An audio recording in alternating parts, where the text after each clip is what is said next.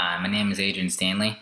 In this video, I want to talk about stress, what it is, why we experience it, and the reason for the physiological changes that we undergo when we're in stress. The first thing I want to talk about is the evolutionary purpose of stress. Back in the day before civilization as we know it, humans had to run away from many predators like lions, tigers, bears, things like that. So we developed this system, and many other animals have this system too, that allows them to deal with pred- predatory situations, whether or not they want to fight the situ- fight the predator off or run away. Now, there are many physiological changes that occur in our body when we're under stress. Uh, in a moment, I'll talk about all the different changes that happens.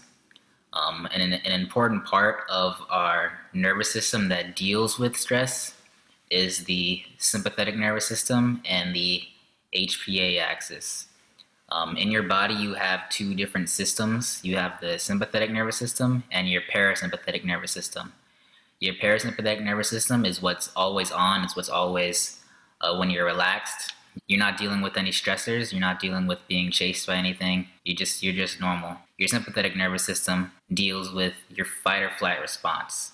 The sympathetic nervous system will generally act opposite the parasympathetic nervous system. The HPA axis is responsible for the release of adrenaline and all of the, the stress inducing hormones into your blood. And I'll describe the HPA axis in a second.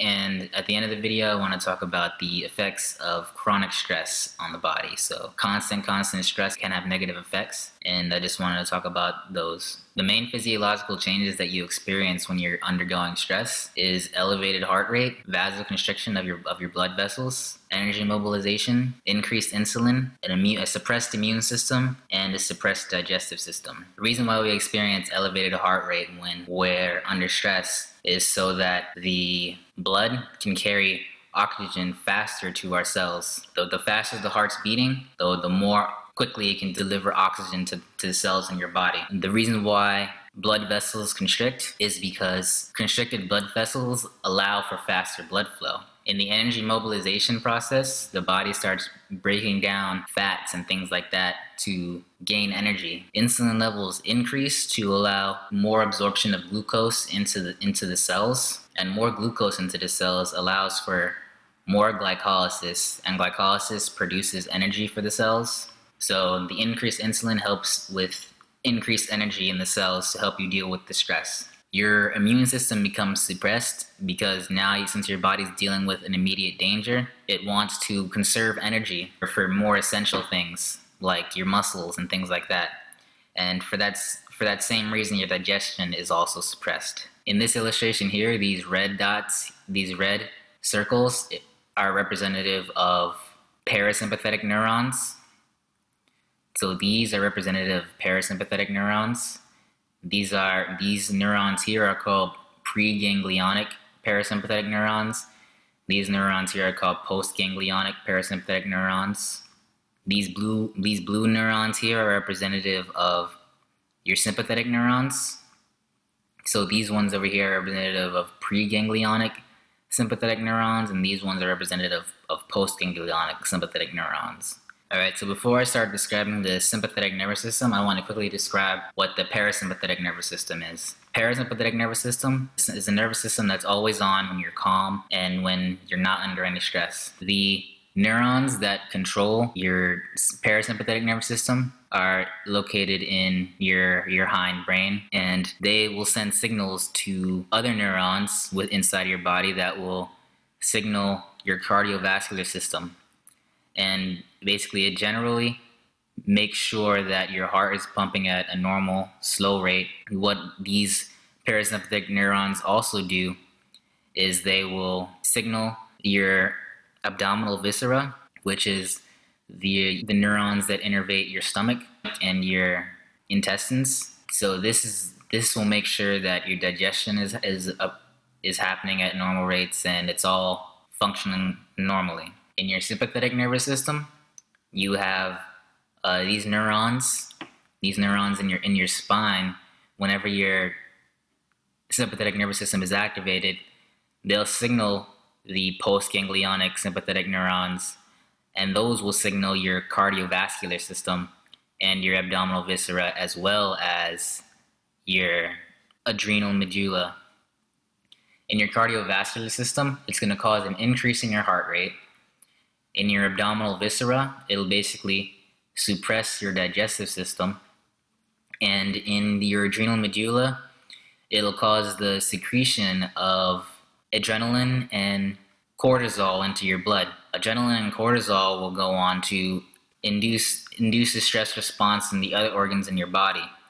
I'll describe in more detail cortisol and adrenaline in just a moment.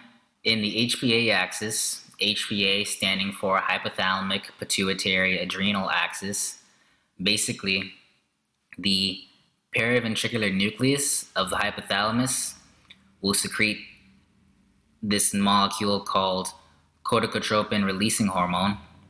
Then this corticotropin releasing hormone will float down, will enter the blood and go into go a short distance to your anterior pituitary gland, and the uh, corticotropin releasing hormone will cause the pituitary gland to release adrenal corticotropin into the blood.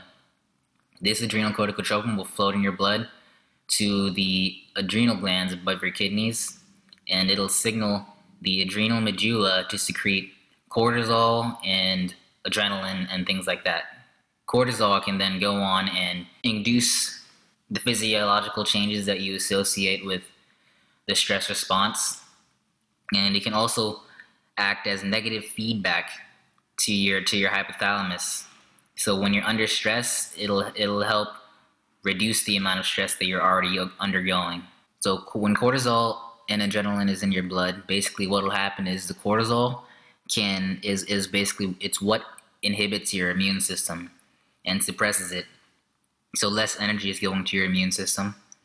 Your the cortisol will also float in your blood to your pancreas, where these there are these cells that produce insulin called Langerhans cells.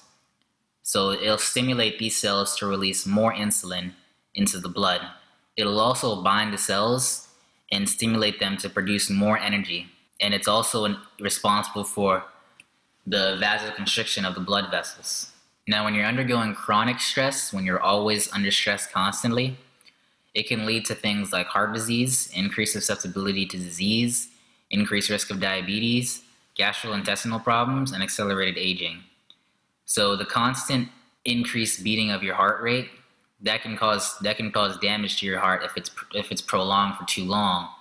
So that's why chronic stress can lead to heart disease because you're suppressed because your immune system is suppressed when you're under stress you're more likely to get sick because you you you don't have such a strong enough you don't have an immune system that's responding to diseases.